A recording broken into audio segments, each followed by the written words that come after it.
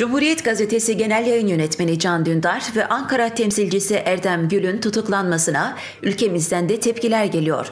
Kıbrıs Türk Gazeteciler Birliği Yönetim Kurulu tarafından yapılan yazılı açıklamada Can Dündar ve Erdem Gül'ün MİT'e ait yardım tırlarının durdurulması ile ilgili gerçeğe aykırı bazı görüntü ve bilgiye yer verdikleri gerekçesiyle tutuklanmasını kınıyoruz.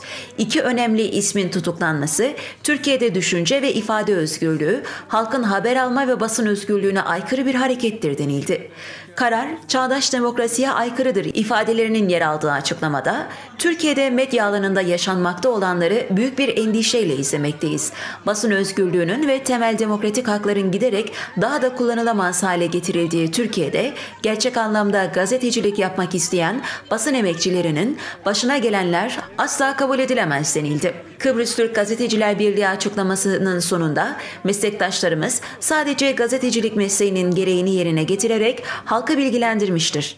Can Dündar ve Erdem Gül'ün tutuklanması olayında yargılanan gazetecilik mesleğidir.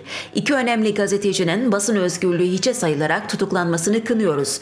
Bunun Türkiye basın tarihine kara bir leke olarak geçeceğini düşünüyoruz ifadeleri yer aldı.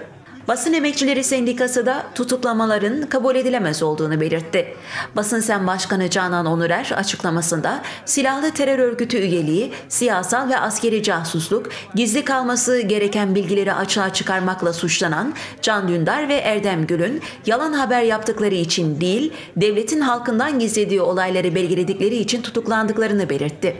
Onurer, bu tutuklamalar düşünce, ifade ve basın özgürlüğüyle halkın haber alma hakkına vurulan darbe olarak tarihe kara bir gün olarak geçmiştir.